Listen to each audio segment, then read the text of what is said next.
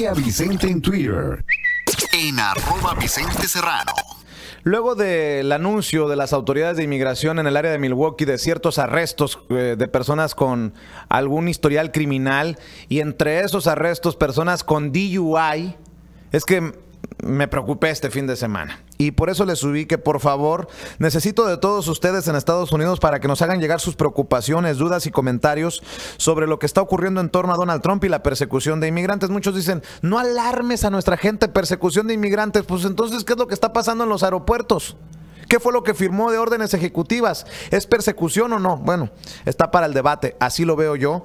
Eh, solo así, si ustedes nos ayudan con sus mensajes, con sus preguntas, con sus preocupaciones, podremos ser el espacio que ustedes necesitan. Y le agradezco a la abogada Lourdes Monteagudo. eh, y también a Nayacín Vázquez, que se encuentra en Cortes, no pudo estar aquí, de Asociados de México, que se encuentre con nosotros para darle información a nuestra gente honesta, profesional, puntual, abogada. Primero, gracias. De nada, Vicente. Al contrario, estuve muy preocupada durante el fin de semana pensando en todo el miedo que eh, lo que sucedió durante el fin de semana genera en todas las comunidades inmigrantes. Y verdaderamente es un momento para, usa- us- para usarlo para aprender más que nada, no para asustarnos, sino para aprender, porque necesitamos tener ah, conocimiento de lo que verdaderamente son las leyes americanas en relación a los inmigrantes y entender que en algunos momentos esas leyes son usadas más um, agresivamente que otras, pero que siempre han sido y serán siendo usadas contra los inmigrantes. En este caso, lo que causó eh, la gran movida ayer fue que el presidente Donald Trump anunció como una acción ejecutiva que le iba a poner paro a la entrada de inmigrantes eh, de ciertos países musulmanos que ya habían sido identificados por el presidente Obama y por la, por la- las personas que hacen que ven por la seguridad nacional de los Estados Unidos como los países de donde vienen los terroristas a, los Estados Unidos. Y él lo hizo como acción ejecutiva, lo hizo muy abiertamente y cometió, no fue un error, es una palabra que usan que dijo, todos los que no se, los extranjeros van a ser parados y le van a, a mirar más el cómo fue que vienen, de quiénes son y todo lo demás. Desafortunadamente, todos, todos los que no son ciudadanos americanos en la ley americana son considerados extranjeros. Por lo tanto, una persona que tiene una, una, una residencia legal permanente, yo lo he dicho antes en este programa, lo único de permanente que tiene es el nombre, porque seguimos siendo extranjeros hasta que nos hacemos ciudadanos americanos. Entonces, lo que sucedió, que él dio la orden, fue ejecutada inmediatamente, no dándole tiempo a ni siquiera a los agentes de inmigración, a todos los niveles de los aeropuertos y de las fronteras, de entender bien cuál era el mensaje. Y ellos comenzaron a arrestar a los que vienen con visas, que son sumamente extranjeros, esos son, se supone que vienen y van nada más que por un corto tiempo. Algunos vienen con visas de refugiados y esos eran algunos de los que se suponía que iban a parar y devolver. Y aquellos que vienen con sus tarjetas, nosotros lo que le decimos la mica, ¿no? La residencia permanente, porque han vivido aquí ya mucho tiempo, han ido a visitar a alguien y regresan. Y todos se vieron en el mismo problema ayer porque los pararon a todos. Y eso fue lo que causó que todo el mundo se pusiera tan problemático ayer y que hubiera tanto lío. Pero verdaderamente todos los días, todos los días paran a personas que vienen visadas de países de los que de los que él mencionó musulmanos y de todos los países del mundo, incluyendo a México, que diariamente paran en las fronteras, incluyendo aquí en el aeropuerto O'Hare, y los devuelven a su país. Y hay muchas familias que conocen eso porque les ha pasado a sus familiares. Y lo mismo pasa por todo el resto del, del- del país, no es solamente aquí en O'Hare. Entonces, vamos a aprender de lo que sucedió. Primeramente, el presidente de los Estados Unidos tiene su autoridad plena, no importa lo que digan los jueces, porque los jueces no tienen nada que ver con personas que no son ciudadanas americanas no protegen, la ley americana no protege a personas que no son ciudadanos americanos. Entonces, la ley migratoria tiene ciertas leyes que también protegen a los inmigrantes. Y si uno se puede, y uno llena los requisitos de esas leyes, entonces, aunque lo paren en el aeropuerto, le hagan cuatro o cinco preguntas, le pregunten cómo, por qué fue y por qué regresa y todo lo demás, se supone que lo dejen pasar porque no tiene ningún problema. Ahora, llega esa persona, ya sea de estos países musulmanes o de cualquier país del mundo, llega a O'Hare, es residente legal, le toman las huellas y en esas huellas sale que fue convicto de, una, de un crimen agravado o de un crimen ah, como el DUI y todo cualquiera de eso, lo pueden ahí mismo dar la vuelta y mandarlo para atrás. ¿Cuántas veces hemos pedido que la gente que es residente se haga ciudadana? Bueno, por eso les digo, yo siempre enfatizo el hecho de que nosotros como personas que vinimos de otros países, si no, nos, no hemos tomado el paso de hacernos ciudadanos americanos, seguimos siendo foráneos, extranjeros, extraños, extraterrestres a este país. Así como personas que de otros países que van a nuestros países también son considerados iguales basado en la ley de nuestro país. Entonces, nosotros tomamos muy a la ligera esa diferencia porque como casi siempre vivimos tranquilos, no nos molestan mientras no tengamos ningún problema, pero verdaderamente la ley americana es muy puede ser muy estricta.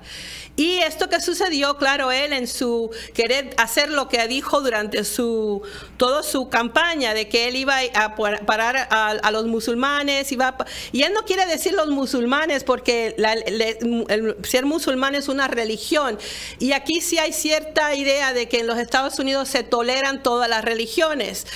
Y si es verdad, se toleran mientras uno sea ciudadano americano. Para los demás, para, para el resto del mundo que no son ciudadanos americanos, ellos verdaderamente ven a, esos países musulmanes como un problema porque se supone que de ahí están viniendo los terroristas.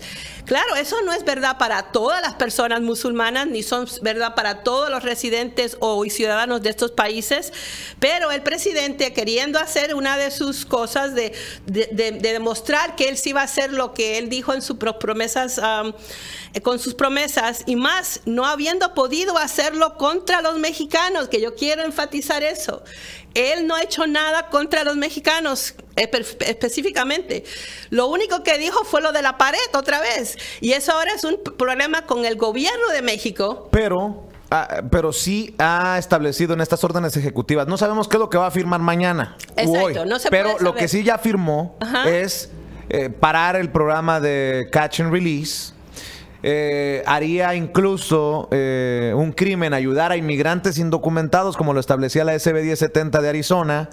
Eh, hay ciertas cosas, ¿qué es lo que tiene preocupada sí, nuestra gente? Pero esas cosas ya están en la ley americana y es lo que ustedes no entienden hay ciertos lugares como Chicago, como Illinois, como ciertos lugares que ha sido más amigable a, a, los inmigrantes, pero esas leyes existen se supone que uno no puede ayudar a otra persona a venir a los Estados Unidos ilegalmente. Es una de las preguntas que le hacen cuando lo hacen a uno residente, cuando a uno le hacen ciudadanos. El hecho, vamos a poner, de decir, las personas que tienen hijos de DACA, los niños vinieron niños, pero vinieron ilegalmente. Esos padres, al decir que tienen un hijo DACA, también están diciendo, yo ayudé a alguien a entrar ilegalmente. Y eso lo pueden usar en contra de uno, porque uno, hay una ley en los Estados Unidos que dice que uno no puede ayudar a otra persona a entrar a los Estados Unidos ilegalmente.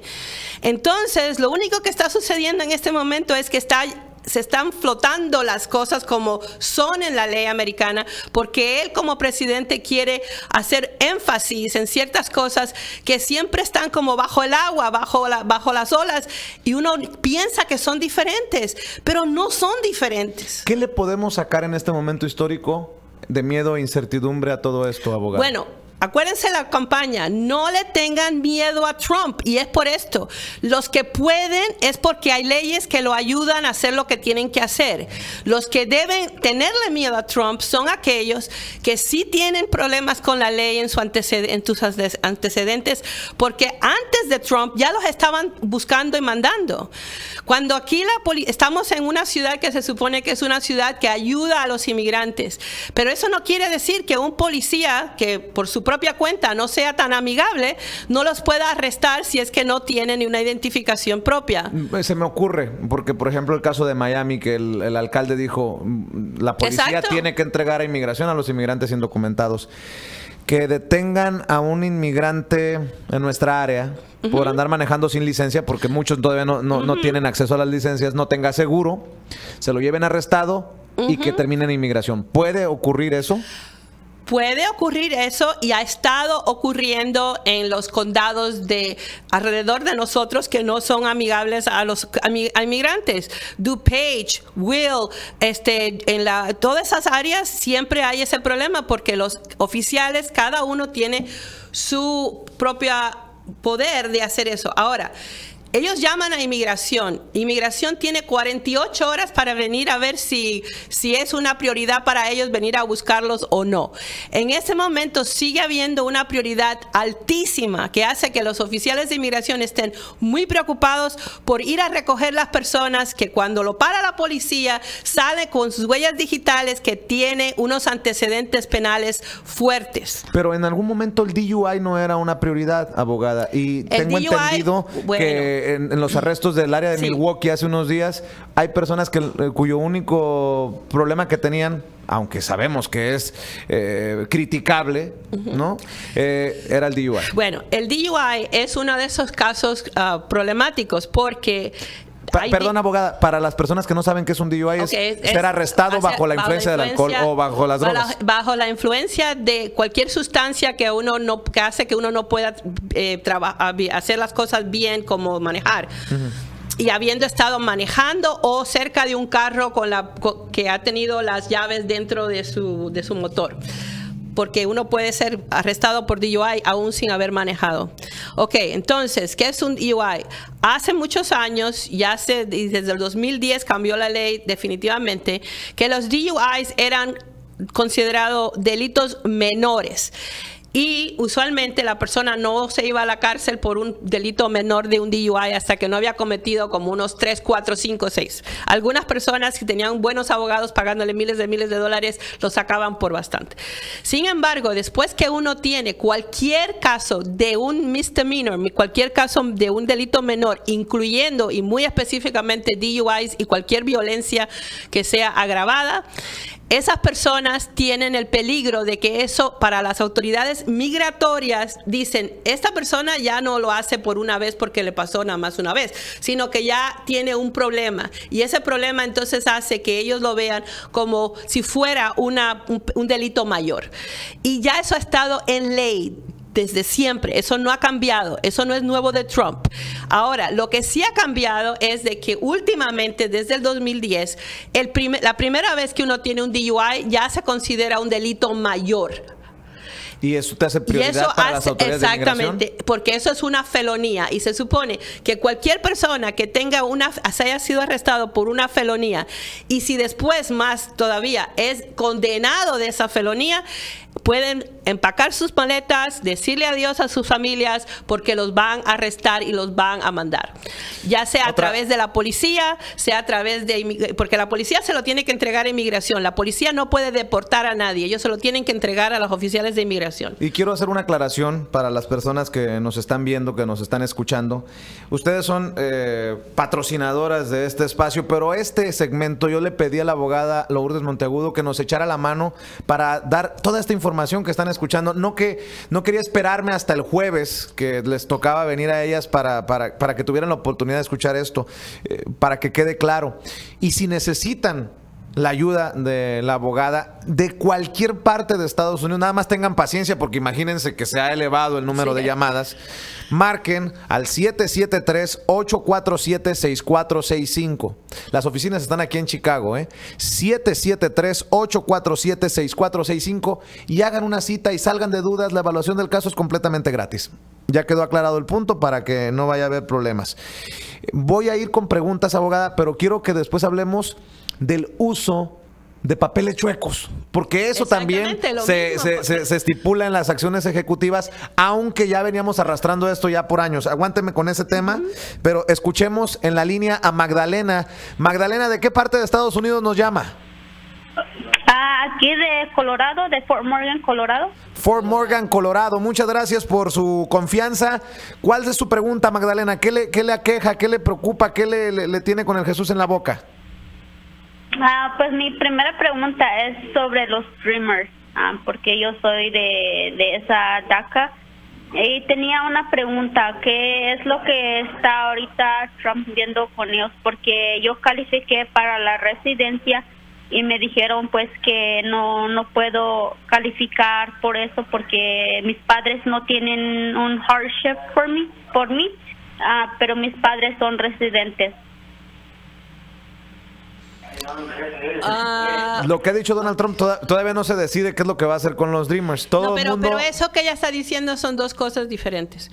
Cuando uno es un dreamer cuando uno es aprobado por DACA, eso es un estatus especial para personas que vinieron cuando eran niños y que ya pasaron por el proceso de aceptación de, de ese estatus. Cuando unos padres residentes quieren ah, a pedir a sus hijos, entonces eso es otra ley completamente diferente. No tiene nada que ver con DACA, no tiene nada que ver que ella es un DACA o que no es un DACA, porque los papás que se hacen ciudadanos americanos o residentes pueden pedir a sus hijos. Lo único malo que tienen es de que no pueden, ah, no pueden eh, primeramente las visas no están ahí para ellos, sino que tienen que esperar muchísimos años para poder llegar a una residencia. Y según por lo que ella dice esto de que le dijeron que no había un hardship, el hardship entra, es la- la- el, sufrimiento más allá de lo común que ciertas personas tienen que tener para que la inmigración le dé un, una un perdón a la persona que entró ilegalmente. Entonces, no siempre, no en todos los casos se puede pedir perdón.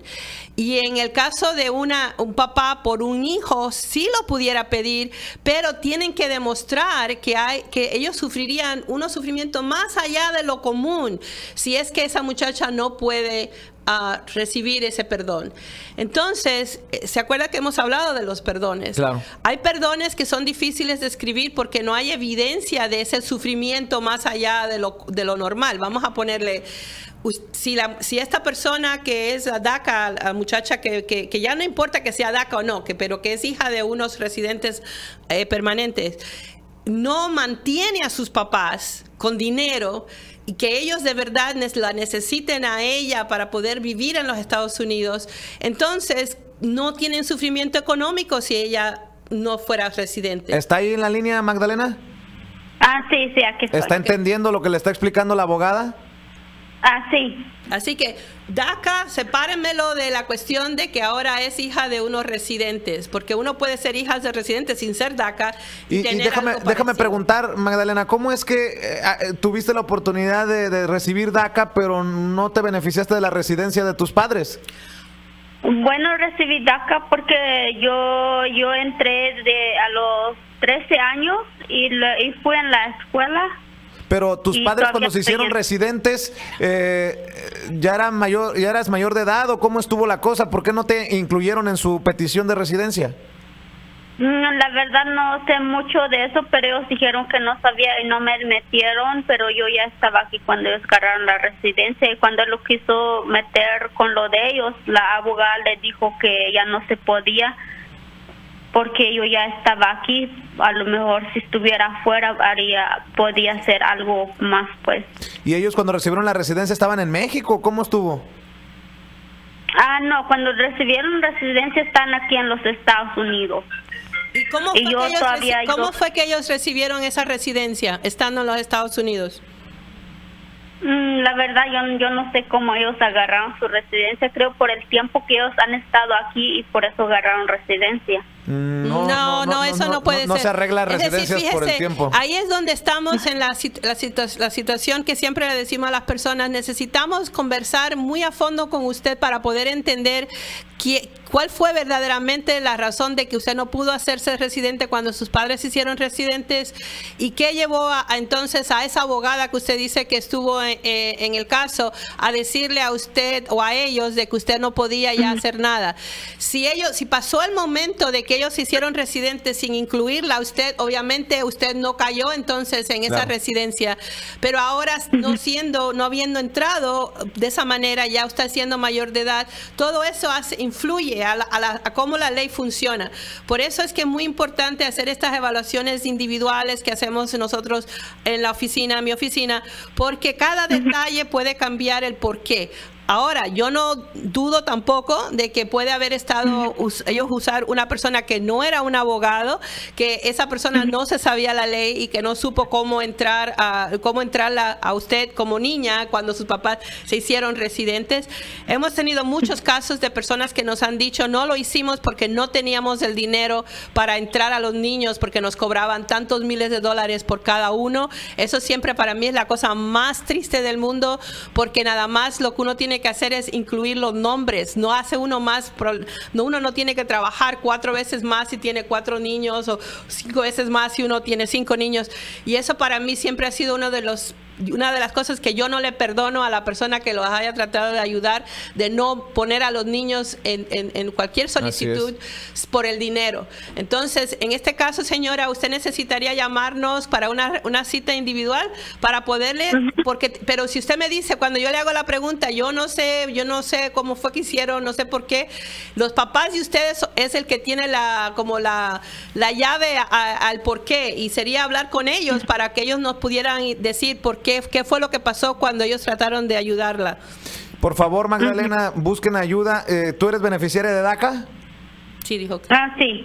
Bueno, pues también estamos al pendiente de lo que defina el presidente Donald Trump sobre, sobre DACA y, y les voy a pedir a todas las personas que así lo quieran, también estoy haciendo un grupo de WhatsApp, agréguenme y los agrego con mucho gusto. El, el número para que me agreguen es 312-871-7182 y estaré compartiendo todos los segmentos, eh, escritos, todo lo que compartan los abogados, amigos de este espacio sin censura con ustedes. 312-871-7182 y Magdalena, te doy un número de teléfono para que marques desde allá, desde Colorado, para hacer tu cita. Ok, sí, ¿cuál es el número de teléfono? 773 773 847 847 6465. 6465 Sí, ¿de qué parte son originarios, mi querida Magda? Ah, de Guatemala. De Guatemala. Pues te mando un abrazo y gracias por la confianza y échenle muchas ganas, pero sobre todo no se queden de brazos cruzados, infórmense, asesórense y prepárense. Muy bien. Ok, ok, muchísimas gracias. Da- da- ¿Qué pasó, abogada? Gracias, No, Magda. de que eh, eso de, de que nos preparemos, yo creo que es muy importante que todos sepamos de que siempre hemos estado en los peligros que tenemos en este momento. Lo único que ahora se está haciendo está a flor de piel porque el señor Trump ha decidido por hacerlo así, y los medios están atrás de él y él diciendo las cosas que dice hay algunas cosas que él mismo no comprende de las cosas que él dice porque están en, ley. Y eso es lo que le pasó con esto de que la palabra alien es para todos, no importa que tengan residencia o no. Y yo verdaderamente no creo que eso fue lo que él, la intención, que ahora fíjense, ya hoy están diciendo, ah, no, si tienen la residencia, le pueden hacer preguntas, le pueden eh, detener un ratito en, en inmigración, pero usualmente esas personas van a estar bien si es que no, no, aparecen en listas de terroristas y todo lo demás. Y es porque cada palabra en inmigración tiene un significado legal. Ahora, otra cosa fue de que estos, hay tres jueces o cuatro jueces que dieron órdenes que hizo que de alguna manera se parara el desastre de ayer. Pero esos jueces, aunque son jueces federales, no tienen jurisdicción con lo que está haciendo el presidente. Y todos van a ver que van a salir las noticias de que esas leyes no van a poder ayudar a parar todo como ellos, la gente cree. Entonces, ah, hay ciertas cosas que tienen más valor que otras. Vamos a ponerle si, si nada más son leyes que van en contra de la religión de las personas. Por eso es que se habla de los musulmanes como ah, una, un, un sector religioso y ese es el que se supone que él quiere no tener en los Estados Unidos.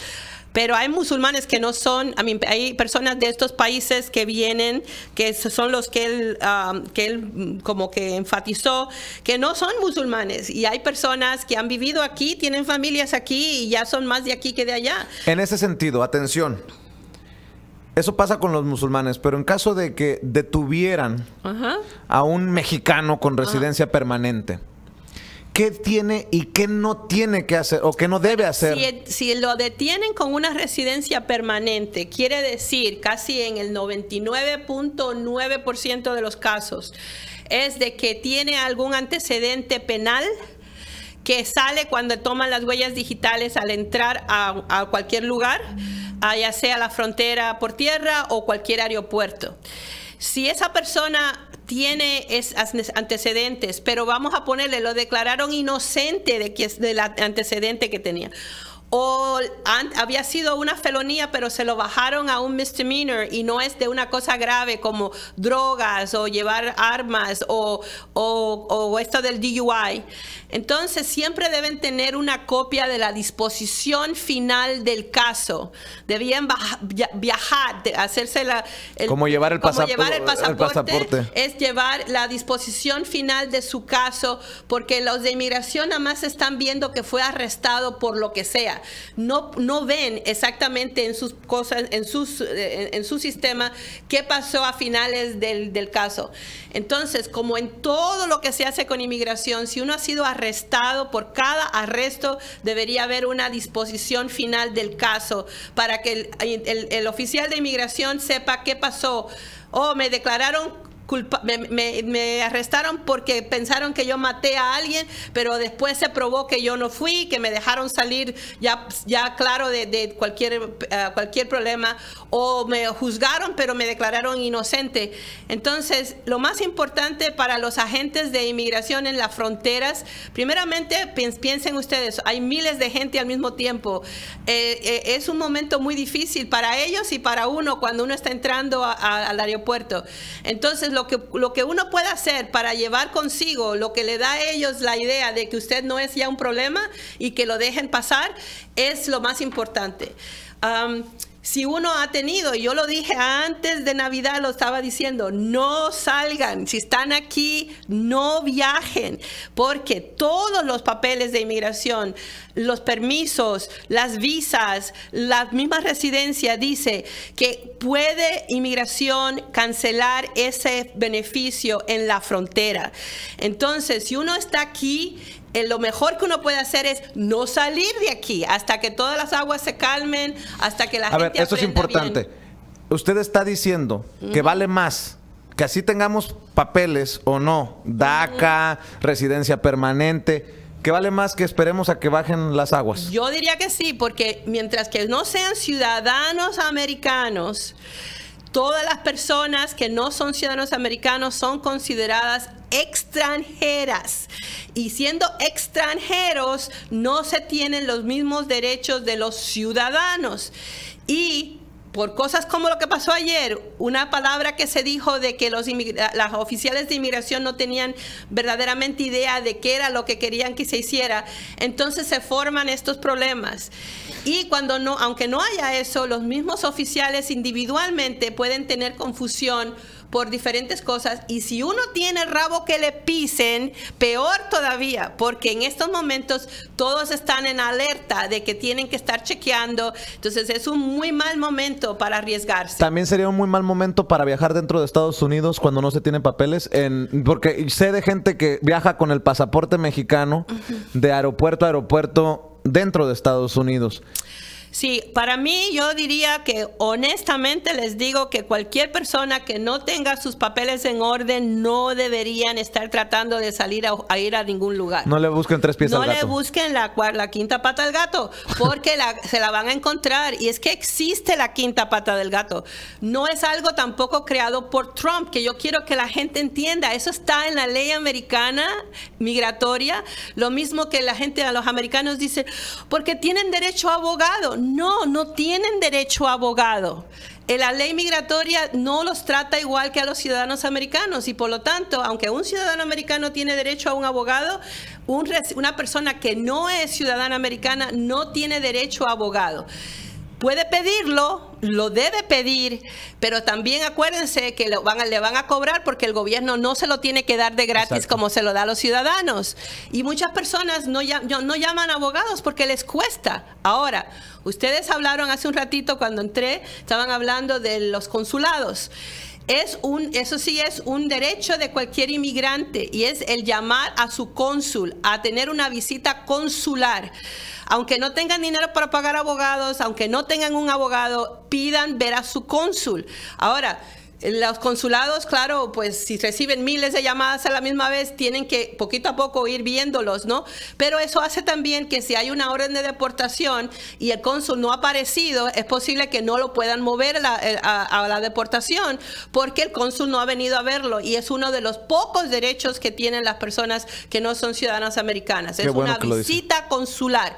Lo mismo que hablamos de qué decir y no decir.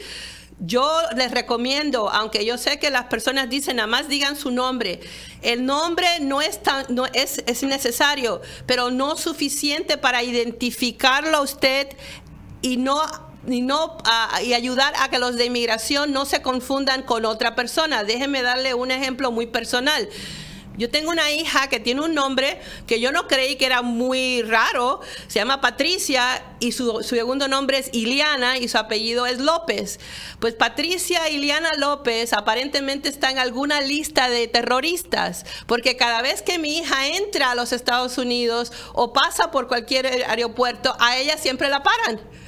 A Ricardo también le pasa, mi hermano Ricardo dice que eh, se llama Ricardo Serrano, un violento criminal aquí en Estados Unidos. Entonces, desafortunadamente hay nombres que se lo usan porque lo tienen otra gente. Entonces, hay que identificarse de una manera más personal, porque hay que decir su nombre, su fecha de nacimiento y cualquier otra cosa que uno necesite, como de qué país soy, porque si yo soy, no soy de los Estados Unidos, no soy ciudadano americano, por lo menos mi hija sí es ciudadana americana y nació aquí, pero si no soy ciudadano americano, necesitan saber de, a qué cónsul, a qué, a qué país se tienen que ellos llamar si es que necesitan información. Y eso es muy importante. Me están pidiendo nuevamente el número de teléfono de la abogada Lourdes Monteagudo y de Asociados de México. 773-847-6465. Están en Chicago, pero le pueden atender si usted llama desde cualquier parte de Estados Unidos. Nada más tenga flexibilidad y paciencia porque pues están recibiendo muchas llamadas. 773-847-6465 y pase la voz porque mañana tendremos a otra de nuestras amigas, la abogada eh, Teresita Marsal Ávila de Marsal Ávila Law Group, aquí en nuestros estudios estudios para también, eh, como lo está haciendo la abogada Lourdes Monteagudo, compartir información para todos ustedes. Así que pasen la voz. Ok, otra cosa que tienen que hacer todos los que estemos aquí con niños, y se lo digo a todos porque no importa que uno sea inmigrante o no, que tenga residencia o no, deberían hacerlo, pero para las personas que tienen cualquier idea o miedo de que en algún momento ellos pueden faltar, por, sobre todo por la cuestión de una, vamos a suponer, de un arresto que uno no pensaba iba a suceder, necesitan tener un poder para, para dejar a sus niños con alguien que los pueda cuidar hasta que ustedes o salgan de, la cárcel o si los mandan a, su país sin poder salir. ¿Poder o carta notarizada, abogada? Bueno, eh, eh, la gente habla de carta notarizada. Aquí en los Estados, Unidos, en los Estados Unidos se habla de poderes, es un poder, es un poder y es para esto que estamos hablando, es un poder específico que se hace donde uno le deja la custodia temporal a alguien en, caso, de... en caso de que uno falte porque se supone que uno pueda volver a tener la, para que la gente para que nuestra gente entienda más claramente lo que está diciendo. Suponiendo que me arresta inmigración en el trabajo mi, le dejo una carta poder a mi hermano o a mi compadre para que vaya a recoger a mi hijo a la escuela, para que... Exacto, esas pero lo cosas. más importante, fíjate, de todo es de que, que yo creo que puede ser la diferencia entre la carta notarial esa que, que se habla en- de así como, como si eso fuera algo bueno, este, y un poder, y es esto, de que una carta notarial es un escrito que uno lo firma delante de un, de un notario que lo vio firmar, pero lo que dice la carta es lo que usted escribió. Yo doy permiso a que eh, Vicente Serrano eh, vaya a buscar a mi niño a la escuela, pero eso nada más le da ese poder a Vicente Serrano. Y si usted lo deporta, Vicente Serrano no va a poder ir a pedir el pasaporte del niño, no va a poder viajar con ese niño, no va a poder sacar a ese niño de este país. Entonces, el poder que yo hablo es un poder donde la persona le da una custodia temporal en caso de que la persona falte a alguien que entonces que debe tener papeles, que debe poder viajar para poder entonces esa persona no solamente tomar custodia del niño para todas las necesidades del niño, sino poderle sacar pasaporte, poder viajar con él, porque si usted de buenas a primeras se encuentra en el país de origen y su hijo está aquí y usted quiere que vaya a estar con usted, nadie lo puede sacar a ese niño si usted no está aquí, si no hay un padre que firme por esos pasaportes. Y Ah, ah, entonces eso se llama un poder, eh, un poder de, custodia temporal con, ah, con este, con este, mm, con permiso para, para viaje. Tiene que decir todas esas cosas. Si no, entonces sí, bueno, alguien la va a poder ir a buscar al colegio, va a poder llevarlo a la casa, va a poder darle de comer, pero de ahí no pasa el poder que usted le ha dado a esa persona. Buen punto. Y le agradezco a Adonis eh, que nos tenga paciencia. Adonis, buenos días. ¿Dónde nos escuchas? Buenos días desde Texas. ¿De qué parte en Texas? Oh, aquí pegada a la frontera de Bronxville, ah, en Bronxville, o mejor dicho, Gracias, Adonis. ¿De qué parte, de, qué- de dónde eres originario? Cuba. De Cuba. Cuéntame, Adonis, ¿en qué te puede servir tu paisana? Ok, ah, yo soy, ah, por ejemplo, yo soy del año 94 que vine con los balseros, ¿verdad? Y, y desde entonces me metí en problemas y tuve venta y posesión de, de droga en dos ocasiones. Y, y desde entonces me mantuve con permiso de trabajo, estoy como, como el- tengo el parol por ahí, yo creo que me quitaron el parol también. Y estoy con permiso de trabajo, pero ahora me niegan el permiso de trabajo. ¿Qué pasaría entonces en mi caso? Yo soy una gente deshabilitada, estoy pagando mantención de un niño. ¿Le han negado el permiso? Sí, Bueno, desafortunadamente ah, esta conversación es una conversación dirigida a los cubanos nada más, porque la ley contra, contra y a favor de los cubanos ha sido muy diferente a todas las leyes migratorias con los demás países. Hasta hace unas dos semanas, mm, tres semanas a más tardar, había una ley que protegía a todos los cubanos que estaban aquí en los Estados Unidos como refugiados, habi- habiendo entrado como refugiados cubanos y habiéndole dado muchos beneficios que no se le daban a nadie más, a ningún otro país del mundo. Para personas que entraron con el parol que le dice él que fue lo que le tenía era es un, un parol es como un permiso de entrada especial que usualmente se lo daban a las personas al llegar a los Estados Unidos. Cuando venían de Cuba se lo dan a otras personas dependiendo de lo que los Estados Unidos quieran hacer pero en Cuba se le daba a las personas que venían de Cuba. Y con ese parol, aun cuando no podían llegar a ser residentes, porque me imagino que usted no pudo ser residente por sus problemas con la ley, entonces era Correcto. como que se quedaban congelados aquí en los Estados Unidos, pero cuando uno tiene parol sí le dan un permiso de trabajo, entonces le daban su permiso de trabajo. Pero hace tres semanas, más o menos, dos semanas y media, tres semanas, cambió la ley contra los cubanos y ya no le van a tratar como diferentes a los demás. Y por lo tanto, es, yo creo que es por lo cual ya no le dan a usted ahora su permiso de trabajo y no tenga, no tenga miedo de si llega ICE a su puerta y lo arresta, porque lo que tengo entendido es de que los Estados Unidos y Cuba, han, eh, como allá están, han entrado en, en sus nuevos arreglos diplomáticos, van a empezar a deportar a los cubanos que están en situaciones que hubiesen sido deportados hace mucho tiempo, pero que no han podido salir del país porque no había, no había relaciones Relaciones diplomáticas.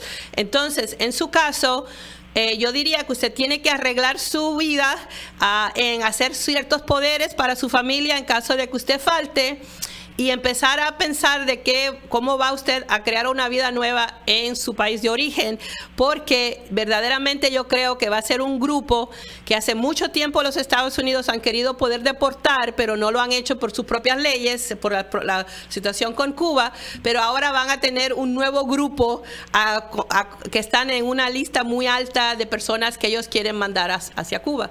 Y su situación personal, usted puede tratar de, si lo, si lo llevan a una a un juez de inmigración, usted puede alegar su caso igual que todas las personas tienen derecho de alegarlo en frente a un, a, un juez de inmigración. Pero dependiendo de su caso particular, de todas las cosas que usted puede haber tenido en su en su récord um, policíaco y todo lo demás, puede ser que ni le den esa opción de ir a ver um, a un juez, sino que debería ponerse en contacto con el consulado cuba, bueno, la embajada cubana, porque nada más hay una en Washington, para hablar sobre cómo Ajá. sería en su caso. Porque ese- esos casos de los cubanos es muy fresco, acaba de suceder que la cambió la ley y hay muchos como usted que han estado básicamente congelados en el sistema americano porque no podían hacer nada contra usted. ¿Quedó claro, Adonis? Oh. No, no. El caso mío es que yo no quiero irme para para Cuba. Pues es que el la- aquí, no, es- aquí no es de lo que quiera. Exacto, aquí ya cuando llega el momento de la verdad enfrente a, a las, a las autoridades migratorias, no es lo que usted quiera, es lo que usted, ellos vayan a hacer. Y, y como, como usted mismo me acaba de decir, usted nunca llegó a ser ciudadano americano, no llegó ni a ser residente, nada más tiene un permiso de estadía, que es un permiso que le dan los Estados Unidos hasta que se lo quieren quitar. Y, y ya se lo quieren Ajá. quitar. Entonces, el día que se lo quiten, ya usted no puede quedarse en los Estados Unidos y tiene que a regresarse a su país. ¿no? Pero es que hasta aún a los indocumentados, las personas que tienen problemas con la ley, todo eso lo tienen en una lista muy específica, saben dónde están y los van y los buscan, los arrestan directamente, ni siquiera, eso, eso estaba pasando antes de, de Trump, va a seguir pasando y va a pasar más con estos grupos que ahora por situaciones legales nuevas que hay contra, vamos a ver, en Cuba con, la con Cuba, este, pues ya no, ten- ya no tienen las libertades que tenían antes los cubanos. Quedamos en eso, Adonis. Hay que buscar apoyo eh, de un abogado. Este, si quiere llamarle a la abogada Lourdes Monteagudo, márquele a este número que le voy a dar, si le parece. y- pero, ¿Y qué consejo me daría para ver que no hay manera de que yo pueda arreglar entonces nada en mi caso? No por lo que usted me ha contado, este, ah, usted no tiene, algún- usted no, usted se casó con una americana. Ah, no, no, puedo casarme, la mujer mía es americana. Bueno, siempre cuando uno se casa con una ciudadana americana, uno puede tratar de hacer ciertos arreglos, pero su problema con los antecedentes penales que usted, así de como usted me, me- me salpicó ahí en la conversación, le diría que antes de hacer nada, de gastar un centavo en nada, vaya a que le hagan una evaluación muy grande de su caso, porque todos esos antecedentes penales pueden hacer que usted no pueda arreglar aún cuando se haya casado con una ciudadana americana. Adonis, apunta este número que le voy a dar. Sí, Cuando esté listo me dice. yo, yo, sí, yo llevo 20 años reportándome a, a- al oficial de deportación de migración, ¿verdad? Y ellos son los que me dicen de que ya no tengo chance ninguna.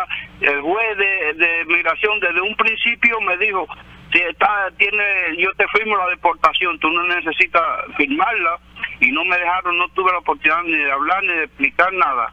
Nada, simplemente fui allí, me dijo, no, ya tú, estás, tú tienes la deportación firmada. Entonces, figúrese, ya usted la tiene firmada, lo único que falta es de que lo arresten y lo manden en un avión a Cuba.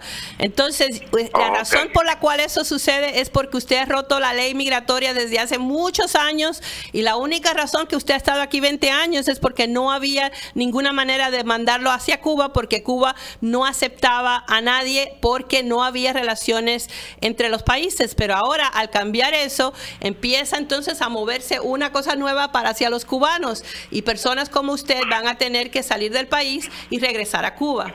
Eh, Adonis, no apunta este número de teléfono, por favor. Sí, dime. 773 Yo, 773 847 847 6465. 64. Y yo no tengo derecho a pedir un tercer país. A usted puede pedir un tercer país, sí, pero el tercer país lo tiene que aceptar. Y si no lo acepta, es como si nada. ¿Y, qué, con, y qué, con quién debo hablar para pedir un tercer país? T- Tendría que decírselo a los de inmigración, pero ya debería habérselo dicho a ellos hace mucho tiempo, porque ahora lo que van a pensar es de que usted no quiere regresar a Cuba, pero ellos no, ellos no van a hacer ningún trámite por usted de que si usted quiere irse a Costa Rica o a Ecuador, ninguno de los otros países necesariamente lo van a aceptar con el tipo de problema que usted ya tiene en su pasado. Oh. Oiga, eh, Adonis, ¿cómo se enteró de nosotros? ¿Cómo nos sintoniza? Por sin, sin censura, aquí lo estaba mirando, lo estoy escuchando por la ¿Por Facebook, por noticia YouTube aquí. o por dónde? YouTube. Por YouTube. Le mando un abrazo, Adonis, y por favor comuníquese. Ahí la abogada Lourdes Monteagudo le puede hacer una cita y, y que vean qué se puede hacer, si es que se puede hacer, aunque pues ha sido lo, muy lo claro. único que se me ocurre y aquí pensándolo rápido es, ¿usted no ha sido víctima de algún crimen agravado? Sí, yo fui víctima ¿De, ¿De qué? qué? De, de, de una pelea que me dieron unos machetazos. Yo soy impedido físico, yo estoy desa- deshabilitado Bueno, ¿En dó- sí, ¿Pero sí. en dónde? ¿En dónde fue eso?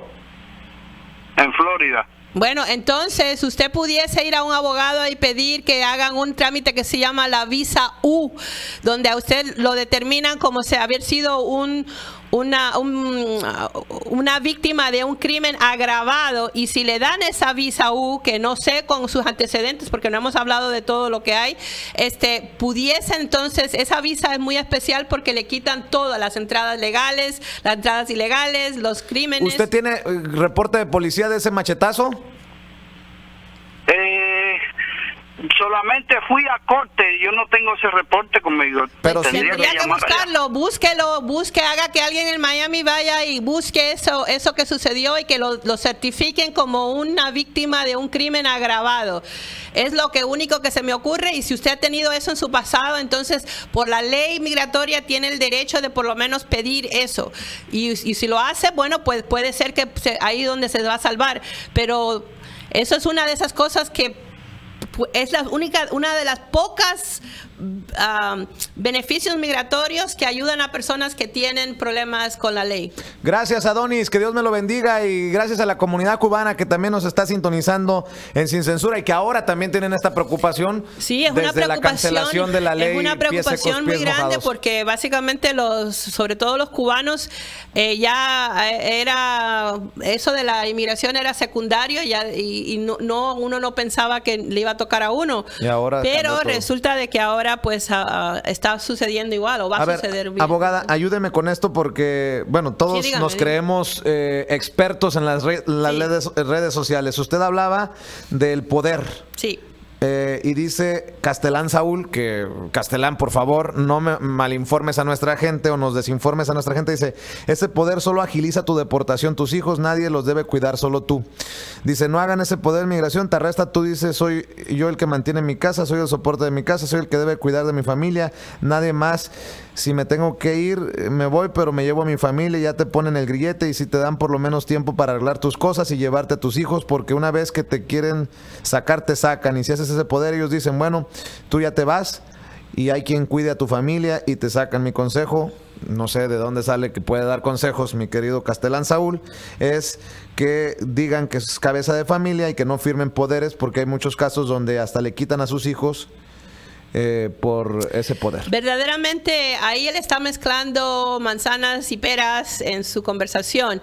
Ah, el- uno no le tiene que decir a los de inmigración que uno tiene un poder escrito y dado a alguien específico, pero si su hijo está en la escuela y no hay nadie que lo va a ir a buscar y, y ellos usualmente son ah, se lo entregan a un papá o a una mamá y la escuela ve que nadie aparece, van a llamar a las autoridades inmediatamente y a ese niño lo van a poner en, en el sistema de, niños y familias o van a empezar a llamar a buscar a alguien en la familia suya que cuide al niño hasta que se vea qué le pasó a usted. Y para mí eso es una irresponsabilidad de un papá o de una mamá el no tener dado a alguien una autorización de ver por ese niño, porque a cualquiera de nosotros, olvídense de la cuestión migratoria, cualquiera de nosotros nos puede pasar algo saliendo de la, a la calle y después nuestros hijos están solos y nadie los puede ir a ver. Pero más en un caso donde usted va a estar en, eh, bajo rejas con personas que no lo van a tratar nada bien. En esta- hasta hace poco había muchas personas que le ponían el grillete y lo dejaban salir porque los niños o por lo que sea. Pero eso yo creo que, yo espero que siga siendo así, pero acuérdate lo que empezamos a hablar diciendo, de que ya dijeron de que no tenía uno que arrestar y después dejarlo salir. Es decir, que puede haber la, la- puede pasar de que como era antes no te dejaban salir hasta después de que ibas a ver al juez y después que pedías que ibas a hacer algo para poderte quedar y poderle exponer tu caso al juez. Y se demoraba bastante tiempo por lo menos dos tres semanas. Es decir que todos los papás y yo estoy hablando de todos los papás no solamente aquellos que tienen problemas o pudiesen tener problemas con inmigración deberían tener un poder donde le dan la custodia temporal a alguien que pueda cuidar a su niño y pueda sacarle pasaporte y viajar si fuera necesario, porque los dejamos desamparados a que el Estado los meta en un orfanato o en una de esas casas ah, con gente, porque usted cree que ellos van a hacer lo que usted dice, de que, ah, porque uno dice que uno tiene niños. ¿Cuánta gente? Esto ya pasó antes aquí. ¿Cuánta gente? Los niños se quedaban que no sabían qué hacer, estaban solos en los apartamentos porque sus papás no regresaron del trabajo. Eso es hacerle un daño al niño, Claro. un trauma al niño.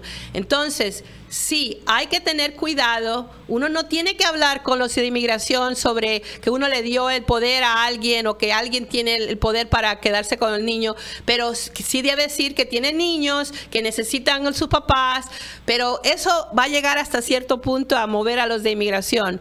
Ah, hubo muchos, muchos tiempos que no movían nada. Ahora a veces lo mueven a que le pongan el grillete, lo dejen salir.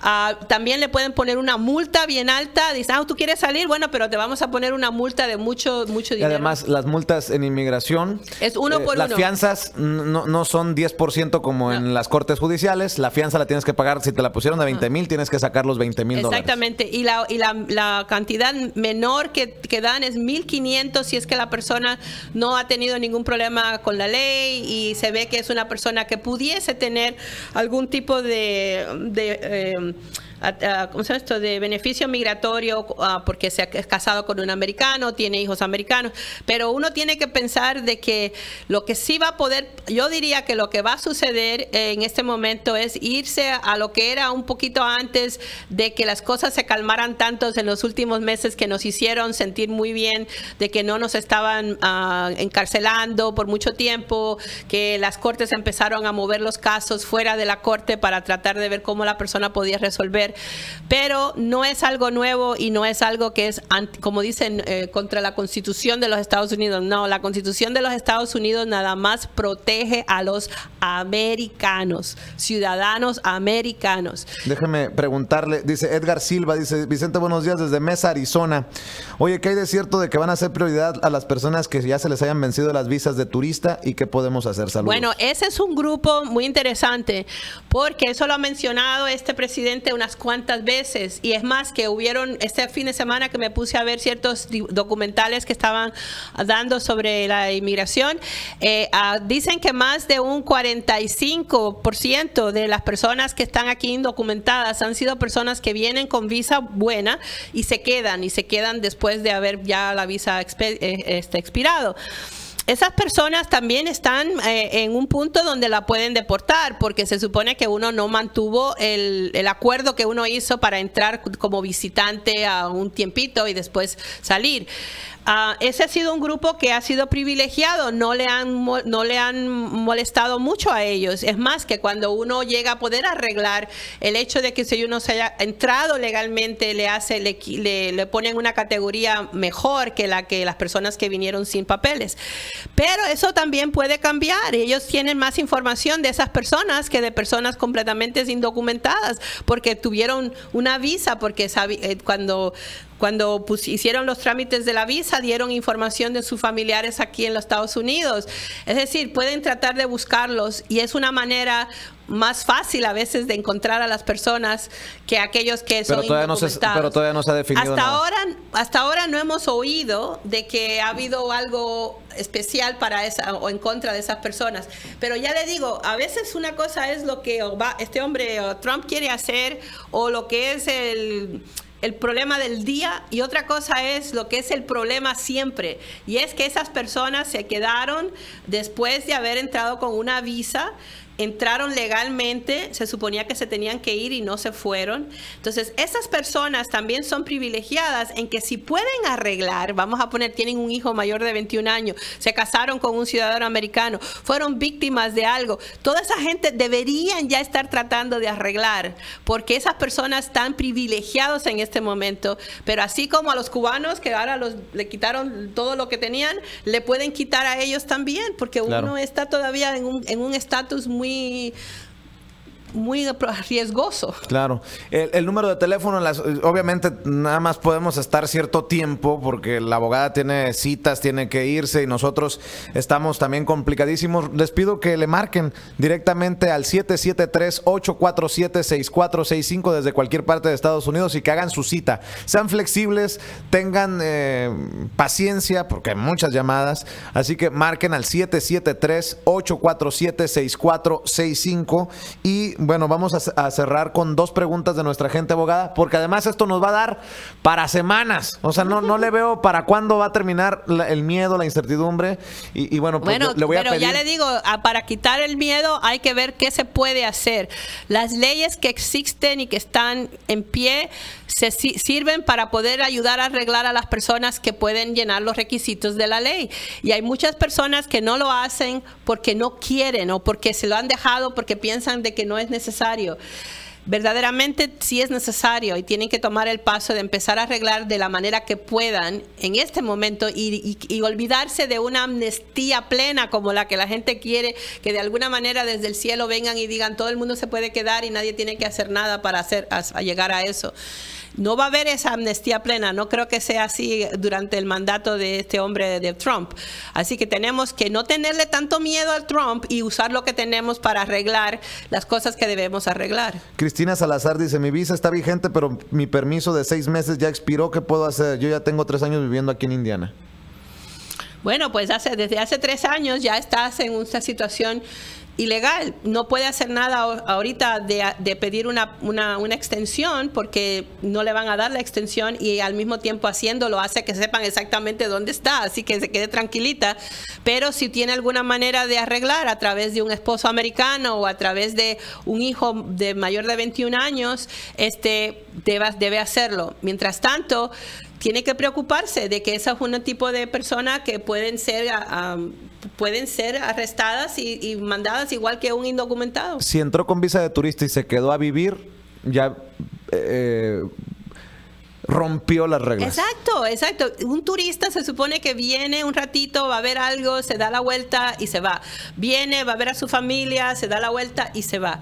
Es más, cuando le dan esa visa de 10 años de turista, que la gente dice, tengo una visa de 10 años, sí, tienes un permiso de que puedes entrar y salir por 10 años, pero cada entrada tiene cierta cantidad de días que te dan. Y si tú te pasas de esa cantidad de días y no pide una extensión, entonces ya rompiste la ley migratoria. De hecho, un amigo me dice, acaba de volar a México el fin de semana y me habló para decirme, al señor que viene sentado al lado mío le tomaron las huellas. se, eh, se- se pasó tres semanas de su permiso y le tomaron las huellas porque había agentes de inmigración en el, en el túnel del aeropuerto hacia el, hacia el, hacia el avión. Vamos a ver tal vez más cosas de estas, pero pues quien está en regla no debe de temer nada. El problema es esto que dice nuestra gente, me voy a quedar otros tres, tres semanas o uno o dos días. Uno o dos días ya rompiste las Ajá, reglas. y eso yo creo que es una de las cosas que está haciendo Trump. Con todas las cosas que él hace, lo que él está haciendo en estos días es demostrando que con él no se juega. que la gente ha querido jugar, porque sí juegan con las leyes migratorias. Para que no Ah, somos tontos para- también. entonces uno juega con las leyes migratorias, uno dice, no, no va a pasar nada, no, mira, no le pasó nada a esta gente que han estado aquí un montón de tiempo. Y él lo que está diciendo es, no me eh, no- conmigo no se juega. Y las leyes están ahí, yo sé el poder que tengo para hacer ciertas cosas. Y empie- empieza a demostrarlo de, de estas maneras, a veces un poquito ah, de una manera que se ve que él mismo ni los de él todavía tienen suficiente experiencia para darle la, para poder explicar ni siquiera por qué hicieron alguna de las cosas que hicieron. Pero desafortunadamente Vicente tiene él el poder de hacerlo. Y las cortes nada más pueden ayudar un ratito tratando de evitar que se haga algún tipo de, ah, de algo que de verdad salga de la ley, porque se supone, vamos a poner que uno no puede discriminar contra gente por su religión. Pero no dicen que no pueden discriminar por la gente porque viene de un país donde hay muchos terroristas que sean musulmanes o que sean católicos o que sean judíos, para eso no importa. El asunto es que vienen de países donde se supone que hay muchos terroristas. Entonces, él usa lo que va a tener que usar para enfocar su, su idea. Con México, a mí me, hasta cierto punto me maravilló de que él en vez de decir algo contra los DACA, no ha dicho nada, está calladito de los DACA porque están tratando de ver qué van a hacer, porque ellos saben que con esos muchachos tienen que buscar una manera de ayudarlos. No es algo tan fácil como decir, le vamos a quitar DACA a todo el mundo. Este, al- a- con los mexicanos, como tenía que decir algo contra los mexicanos, pues se puso a pelear con el gobierno de México en vez de verdaderamente enfocarse en los en el problema migratorio que hay aquí. Y eso pues me dio un poquito, me alentó un poquito ah, porque creo que él- ellos están tratando de entender bien qué hacer con la parte mexicana antes de hacer un desmadre como pudiesen hacer, pudiesen hacer, ¿no? Claro. Ah, ahora, con los musulmanes ya le tenían ganas, eh, se usa- usaron la lista del presidente Obama, usaron listas de que el Congreso había aprobado como países que tienen, que ellos están sospechosos de la gente que viene de allá. Y desafortunadamente a ellos fueron los que primero le tocó la mano dura que, que bajó en ese día, pero también la confusión que se forma, porque son muchos agentes de estos ah, federales en muchos lugares y las, eh, las instrucciones no fueron claras. Entonces ahí se formó el, el, merequetengue. el merequetengue en los, en los, donde tenía que ser, que son los, en los aeropuertos. Abogada. Y sufren mucho la gente. Ayúdeme porque Sí, se, se suma, se suma, se suma. No, y, y se suman las llamadas. Ah, ok. Dice Miguel Ángel Amezcua Valencia, tengo 19 años aquí, pero salí en 2009, me detuvieron en la frontera, pero reingresé. Tengo un hijo ciudadano en situación, esa es mi situación, estoy en caso de que me detengan por alguna razón. Bueno, teniendo un hijo ciudadano americano, lo pone en una, en una lista diferente mientras no tenga antecedentes penales. Ah, pero tiene que empezar a ver, a ver qué va a hacer. Y cuando usted dice que los- lo pararon en la frontera, quiere decir que ya tiene dos entradas ilegales, la primera y la segunda. Ah, eh, y eso puede causar de que cuando trate de arreglar no le sea tan fácil. Cásese con una ciudadana americana, sería mi, mi- sería mi, ah, um, mi consejo. Busque el amor. No, a ver, abogada, no, o sea, a ver, busque enamorarse. Bueno, es que hay algunos están enamorados, ya hayan vivido con ciudadanas americanas mucho tiempo, pero no se casan porque usted sabe que ahora en este mu- mundo nuevo, pues la gente no se casa, ¿no? Pero si usted está ya con una relación que de verdad y no, no debe ser por dinero, ni debe ser por fraude, ni debe ser por nada de eso, porque eso es otra situación que entonces conlleva otros problemas. Pero si uno está con alguien que, que ya ha vivido con ellos, que han tenido una relación, pues cásense, porque una, una persona americana puede ayudar a una persona que ha sido detenida en la frontera y pueden arreglar. Gracias. Nosotros Eh, vemos mucho eso. Vamos gente. con José. Les pido nada más a José, a Ju y a Marcelo que me sean concisos con sus preguntas. Adelante, José. Sí, buenos días, Vicente. ¿Dónde nos escucha, José? Aquí en Chicago. A ver, ¿qué le puedo servir?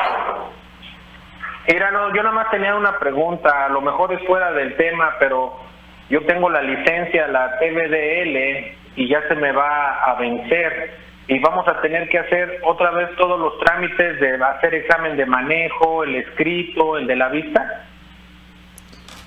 Sí, sí, y eh, eh, usualmente cuando se le vence, ellos están usando los momentos de vencimiento para hacer ciertas cosas. Primero, el hacer todo lo que usted acaba de mencionar, pero además están chequeando su identidad y están chequeando de que usted tenga papeles. Ya hemos tenido unas cuantas personas con ese mismo problema y es el problema más grande, es ese, si uno no los tiene, la parte migratoria, entonces a uno puede, ya no hay eso de pagarle a alguien porque lo lleve a un lugar, que les ayuden a sacar la licencia. Están queriendo usar las licencias como la identificación más la, identificación más segura para las personas que viviendo aquí en los Estados Unidos. Y están usando todos esos mecanismos para hacerlo. Y esta es una de ellas. José. Ah, pero yo tengo la licencia, la, la TVDL. Ah, la TVDL. Ajá. Ajá. Pues, Entonces quiero saber si otra vez tenemos Todo. que hacer el examen de manejo Todo para que nos la Están renueven. forzando, le están forzando a las personas que cuando se le caduca hacer todo, porque quieren hacer, volver a pasar por todo, porque hubieron mucha gente que recibieron esas licencias por en manera fraudulenta. Entonces, en vez de decirlo así a las cuatro vientos, lo que hacen es que todas las personas que lo tienen y se caducan, entonces quieren que regresen a hacer todo el proceso otra vez. Y eso es eh, una situación que están usando para también chequear las residencias, los papeles de los inmigrantes, porque hay muchas personas que tienen esas licencias que las, así, vamos a decirlo en claro, la compraron de alguna manera, ¿no? Eh, Gracias, José, por tu pregunta. Te mando un abrazo. Vamos con Marcelo. Marcelo, ¿dónde nos escuchas? ¿O ves? Marcelo, ¿dónde nos escuchas o nos ves? Creo que se fue Marcelo. Marcelo. Bueno, Ju, en el área de Waukegan. ¿Cómo estás, Ju? Eh, buenos días a la abogada, buenos días Vicente, estoy en el área de Foxley. Am, abogada, en mi caso yo tengo, acabo de tener la residencia permanente, pero como usted dice, para los Estados Unidos soy aún un alien. Mi pregunta es esta, en caso de que por algo a mí me deportaran, am, ¿le dan tiempo a uno o inmediatamente ya lo mandan para su país. En mi caso, porque yo digo, bueno, le dan tiempo a uno siquiera de retirar sus su dinero del banco. Bueno, eh, a veces ah, depende de la situación en que uno se encuentra en el momento del arresto, pero si usted tiene su residencia permanente, primeramente cálmese, ¿no? Es una persona que va a estar en la lista de las personas que ellos están buscando para deportar inmediatamente. Eh, lo que debe hacer es eh, siempre tenerse todos sus papeles en regla, como cualquier persona que, que- es responsable debe tener ah, ciertos documentos que uno necesita en caso de que uno tuviera que ah, sacar dinero del banco rápido o a pasar propiedades rápidas, porque eso nos pasa a todos, aunque no tengamos problemas con inmigración. Pero en su caso, usted cálmese. Yo creo que usted ahora está un poquito nerviosa por lo que ha sucedido. Este, no, usualmente no arrestan a los residentes y de buenas a primera uno se ve enfrente a, a inmigración. Am, tiene que ser de que usted tuvo, estuvo envuelta en algún problema, usualmente con la ley, que la, no sé, la acusan eh, de una felonía. Es decir, que tiene que haber un arresto policiaco para que usted esté en peligro. O en este momento también les digo a todos los que son residentes, traten de no estar viajando mucho y si tienen algún problema en su, en su pasado, lleven sus disposiciones finales. ¿Por qué? Porque en este momento los, ah, los que están bajo con mucha presión son los oficiales en las fronteras porque están tratando de ver qué hacer con esta de la ley y entonces va a haber paradas que es decir gente que le van a parar gente que le van a pedir más información que van a querer ver los antecedentes penales. Y entonces pues en este momento deben quedarse tal, todo el mundo calmaditos eh, esperar a que se que las cosas se calmen un poquito y que se aclare lo que se quiso decir con esas órdenes que se dieron para que todo el mundo esté en el mismo en, en el mismo plano con usted, es usted una residente nueva, no tiene por qué estar tan miedosa en este momento. Usted acaba de pasar por un proceso donde vieron por todo su pasado y todo y le dieron una residencia. Usualmente esos no son las personas que ellos están queriendo ah, molestar. En caso de una deportación, para aquellos que han cometido delitos, no le quieren dejar ir a la casa, no le quieren dejar no lo quieren dejar sueltos porque cre- creen que se van a desaparecer. Pero si una persona es, ah, am, es ah, arrestada por inmigración y ven que tienen eh, una va, tienen trabajo, tienen su casa, tienen hijos, tienen que arreglar ciertas cosas para poder salir, si le dan tiempo, usted pida ver a un juez, el juez le puede dar hasta tres meses para poder arreglar sus cosas, aun cuando quieran deportarla.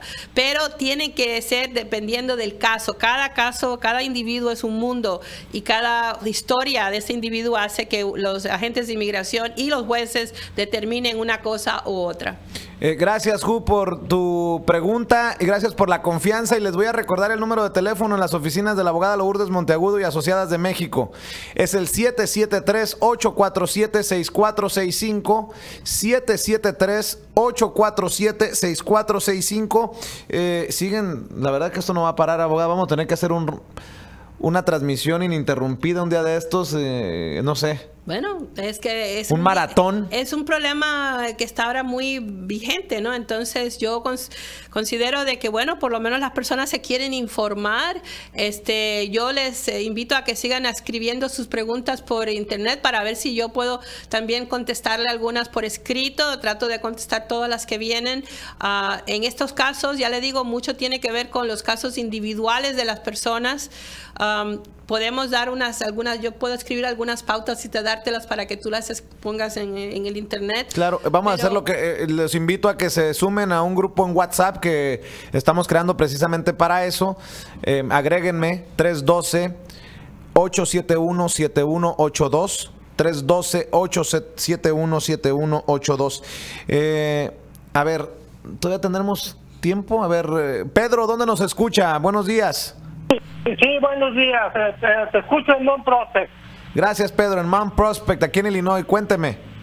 Sí, nada más quería comentarte algo acerca de la, de la- licencia que habló este muchacho. Eh, la licencia de la que no se necesita número de seguro para sacarla. Ajá. Eh, creo que con todo respeto para la abogada, pero creo que se metió en un área que desconoce. Nomás te quería comentar, yo acabo de ir a sacar mi licencia Dixie, por cierto, como comentario, eh, le recomiendo a esta persona que habló al muchacho que vaya a Dixie, ahí hay los muchachos que tienen este tipo de licencia son eh, son personas hispanas y son personas que les gusta ayudar, realmente sales contento de ahí. No te ponen trabas y llevas todo bien no tienen ningún problema anterior, ningún reto criminal. Te ayudan de una manera súper. Son realmente un orgullo para la comunidad hispana, las personas que se encargan de tramitar este tipo de licencias ahí dentro de la Secretaría del Estado. Yo fui, ningún problema de nada. Le recomiendo a esta persona que vaya y también sería importante para informar eh, con- concretamente a la gente acerca de este tema, si podía hacer una llamada a Ernesto Martínez, más para Claro que sí, y para que la gente entienda, estas licencias TVDL, las licencias de conducir TVDL se aprobaron en el estado de Illinois para eh, las personas que no tienen seguro social, eh, para que lo entiendan en otras Y- y- partes. y- Illinois es un estado que ha, ha sido muy amigable en todo lo que se relaciona a los a las personas que han tenido que tratar el hecho de que no tenían licencia o que tuvieron licencias eh, con nombres eh, falsos o con fotografías falsas. Todo eso se ha podido, ha podido tramitar muy amigablemente con eh, las oficiales de la Secretaría de Estado de aquí de Illinois.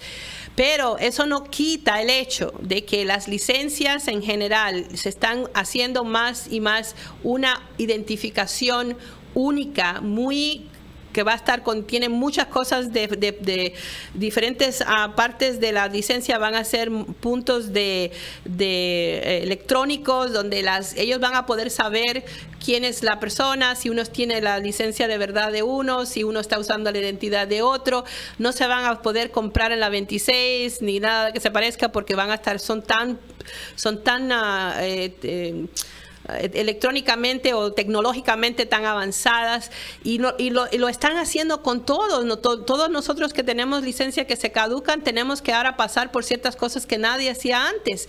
Pero es por eso, porque están haciéndolo poquito a poco mientras se le va caducando a uno las licencias. Entonces hay que tener cuidado, pero Illinois, hasta ahora por lo menos, se ha puesto firme, ha dicho, lo ha dicho enfrente a todos, el gobernador, el, este, el- el alcalde, de que aquí los inmigrantes no deben temer. Pero yo les digo, eh, en Illinois, el gobernador y el alcalde de la ciudad de Chicago, a eso yo creo que lo han prometido y creo que lo hacen cuando ellos tienen poder de hacerlo. Desafortunadamente la ley migratoria es ley federal. Y entonces lo que sucede es de que hay personas individualmente que no están de acuerdo que los inmigrantes estén aquí, pero que tienen posiciones de ser oficiales, que son policías, que son gente que pueden usar el momento para dañar y para entonces llamar a inmigración y decirle aquí está fulanito que no tiene licencia buena, quiere decir que él es una persona que posiblemente no tenga papeles.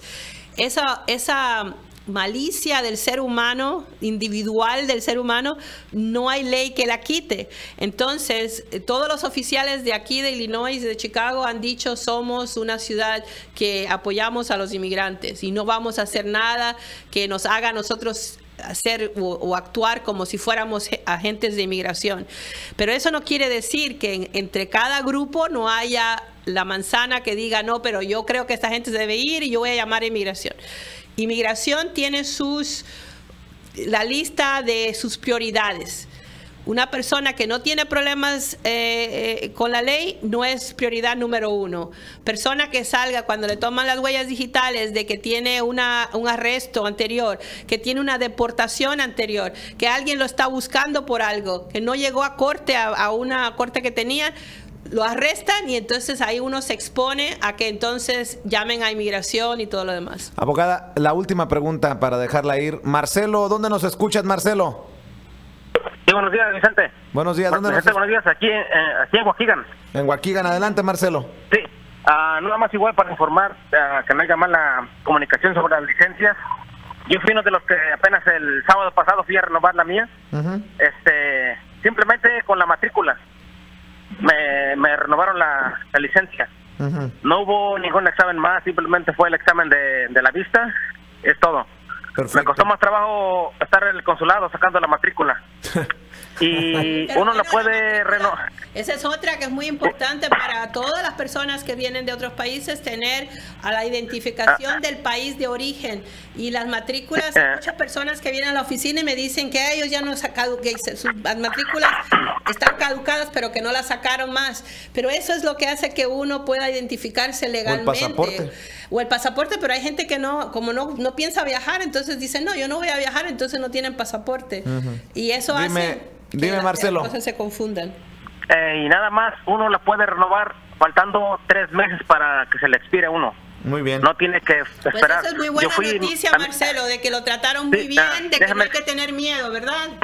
Déjame explicarlo otro poquito rápido. Sí. Este, le digo, yo fui y me la dieron. Me dieron la vieja, me hicieron una perforación y no me dieron una temporal, un papel con la copia de los dos lados de la, de la licencia y la van a mandar por correo.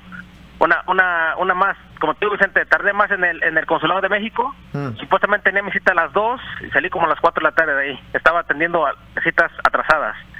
Eh, una más, abogada. Escuché en una en la estación de radio que le hicieron como una pregunta a una abogada donde le dijeron que si Trump él puede firmar esas leyes ejecutivas sin pasar por el Congreso para sí. votación y dijeron que sí, sí las puede hacer y entonces le preguntó a alguien, entonces dijo porque el presidente puede tomar esas acciones ejecutivas y firmarlas inmediatamente. Sí. Entonces preguntaron, ¿y por qué Obama no pudo firmar una acción ejecutiva donde de, de, dijera que había una amnistía o algo para los indocumentados? ¿Sí? Y la última, me despido. Eh, yo estuve con usted, abogada, el viernes pasado. Fui, fui, con mi hijo Víctor, ¿se acuerda? Ahí estuve Ajá, con usted y sí, pues me dio, me dio una, me dio una luz de esperanza y estamos trabajando en eso, Vicente. Qué bueno, me da mucho gusto Marcelo y échele muchas ganas. Sí, sí, Marcelo, échele muchas ganas, pues lo hizo muy bien, tiene su licencia. Eh, es, es verdad, mire, eh, el, el, el presidente Obama hizo algunas cosas porque verdaderamente no hizo todo lo que hubiera podido hacer, pero por lo menos hizo algunas cosas que eh, le dieron un poquito de calma a la, a la, a la, a la, a la comunidad inmigrante. Sin embargo, a veces la calma nos hace no hacer nada y nos quita las ganas de hacer las cosas. Y una persona como Trump, aunque es y sabemos de que a veces las cosas que hace, pues uno quisiera que le hiciera diferente, pero él está haciendo que nosotros pongamos atención, que no nos quedemos sentados en, nuestras casas pensando de que va a haber algún tipo de amnistía, que de alguna manera vamos por el, el, el milagro de Dios a salvarnos de poder, eh, de no regresar a nuestro país o de que tengamos derechos aquí que la ley no nos da hasta que no seamos ciudadanos americanos. Entonces, hay que no hay que tenerle miedo a Trump. Yo sigo diciéndolo porque Trump es nada más una persona, pero las leyes americanas están atrás de él. Algunas de esas leyes son mal interpretadas hasta aún por abogados, no solamente por la gente y por los medios. Este, hay mucha confusión. Cuando hay confusión, hay problemas porque uno está está vamos a ver, yo veo a la gente en la televisión y están gritando diferentes cosas. Sí, aquí en los Estados Unidos no debe haber diferencia por religión, pero el terrorista no es una persona nada más que por su religión. Entonces, ha habido terroristas que no son musulmanes, pero eh, de los países musulmanes han venido algunos de los terroristas. Entonces, hay que la gente que están haciendo estas decisiones están tratando de balancear todo esto. Y este señor hace cosas como las que dice porque los medios le ponen atención. Y entonces a los medios ponerle atención entonces nosotros todos somos los que nos alarmamos de no solamente lo que él hizo o dijo sino de todo lo que los medios dicen o no dicen o dejan de decir en analizar lo que se supone que dijo. Y lo que hace es unos despelotes tremendo porque de- después de todo, en la ley migratoria, todo se basa en el cuento específico de la persona. Por eso las evaluaciones que nosotros hacemos. Yo no, yo a veces oigo las, las, ah, las conversaciones de las personas y ellos creen que están hablando de lo mismo. Pero yo oyéndolo, estoy oyendo dos cosas diferentes completamente que hace que una persona pueda hacer algo y otra persona no lo pueda hacer. Entonces, cuando uno tiene problemas migratorios, lo más importante es entender el caso de cada cual y no irse a oír lo que le está pasando a otro, porque otro puede tener otra cosa que usted no sabe que puede estar ahí. Y tampoco tenerle miedo al hecho de que algún momento nos van a parar en la frontera y nos van a pedir identificación. A mí me pasa cuando yo vengo de Cuba, a veces me piden, me preguntan por qué fui, porque he estado yendo más frecuentemente. Eso no es malo que te hagan una pregunta, uno la contesta honestamente como uno debe hacerlo y te dicen, ok, gracias y adiós, y ya. Entonces, cuando a uno lo arrestan es por algo, ya sea porque algo salió en el, en el, en lo- en el el- en el- eh, cuando hacen la investigación, a veces está mal. Vamos a ver lo que le pasa a mi, a mi hija. A mi hija no la han arrestado, pero la ponen en un cuartito ahí a esperar a que están buscando a ver si su social es igual que lo que están buscando, si tiene, eh, ella le tiene que dar información de dónde trabaja y todo, porque obviamente hay alguien con ese nombre que está en una lista de, de terroristas, una mujer terrorista. Y la pobre me dice el otro día, yo creo que me voy a tener que cambiar el nombre oficialmente porque este nombre siempre me causa problemas. Pero no son cosas tampoco donde uno se puede poner ah, en contra del oficial. Ellos están haciendo su trabajo. Eh, la ley es clara. eh, ellos pueden hacer ciertas cosas y no deben hacer otras. Ah, pero hay algunos que lo hacen porque tienen Claro. autoridad para hacerlo. Entonces uno se tiene que estar siempre quedar calmado, contestar la pregunta que pueda nece- necesita contestar si es que lo- las preguntas es cuando uno está entrando y saliendo y antes de eso preocuparse de lo que el rabo que uno tiene que le pueden pisar y tratar de usar el tiempo que uno tiene para arreglar las cosas, para ver cómo pueden ah, ah, ponerse más en la ley como existe y no creer que el- cada vez que este hombre diga una cosa es para todo el mundo tampoco, porque en el caso de lo que pasó ayer era Claro. nada más para cierto tipo de personas Muy bien. Y, y a oír mucho de lo de México, ¿no? Y creo que si se pueden unir eh, la si se puede unir la comunidad mexicana, se siente más fuerte México a pelear con los Estados Unidos. Claro que sí. Abogada, le agradezco mucho su tiempo y ya nos la estaremos molestando Sí, hijo, está bien. más ¿cómo veces. no? Y si, que si no, al- el jueves aquí está, ¿no? De regreso. vamos, sí, cómo no, el jueves. Eh, Muy bien, entonces la abogada Lourdes Monteagudo y Anayacín Vázquez, presidenta de Asociados de México, recuerden que están haciendo las evaluaciones de sus casos y el compromiso es que sean gratis esas evaluaciones, nada más tengan paciencia, eh, no importa de qué parte de Estados Unidos se estén marcando, eh, 773-847-6465 y la gente de Chicago, la gente de los suburbios cercanos a Chicago también puede pasar directamente a sus oficinas, pero tienen que hacer primero su cita. 84, eh, 773-847-6465. Regreso con más después de esto. Gracias por continuar.